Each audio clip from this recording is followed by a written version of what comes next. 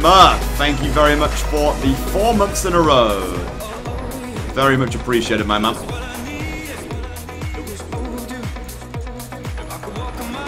A lot longer than four months. Have a good one, buddy. Thank you very much, dude. Very much appreciated, man. I got it! I got the pet! Woo! 1738! I told you, dude. 1738 was the one, mate. Yo, we got our 10th pet on fucking RuneScape, brother. The little Vorki. Let's have a little chat to him, mate. Let's have a look. Uh, hey, Vorki. Any interesting dragon facts? The Dragon King created dragons by fusing their own lifeblood, that of a lizard. The Dragon King created the other species in similar ways by using different types of reptile. Wow, that's fucking cool, Vorkath, man. That's fucking wow good, mate. Wow, got a little baby now.